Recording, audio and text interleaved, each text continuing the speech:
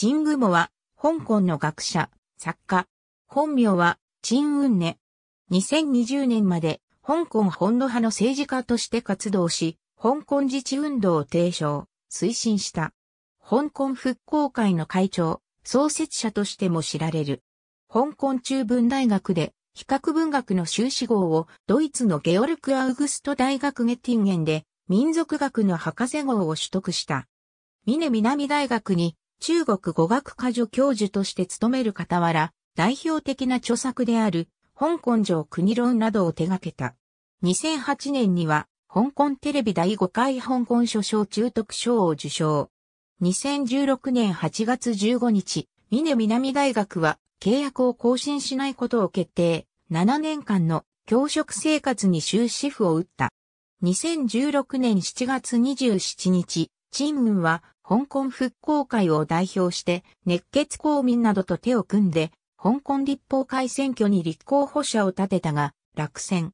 2021年3月1日、彼の支持者と共に香港市民党を立ち上げた。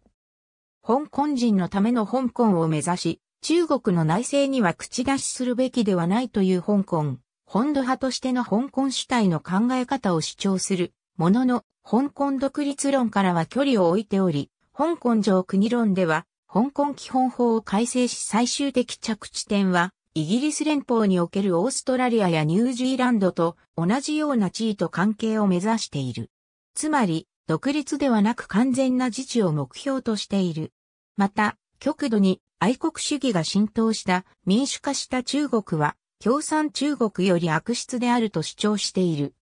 2019年から2020年香港民主化デモでは香港自治行動の設立を呼びかけ、トランプ大統領に香港支持を呼びかけたり、G20 大阪サミットでのデモを呼びかけた。香港での国家安全法成立後は、香港上国論は図書館などにおいて検閲の対象になっている。また、Facebook 上で社会運動からの脱退を宣言。国家安全法は香港社会に安定をもたらすと述べた。ありがとうございます。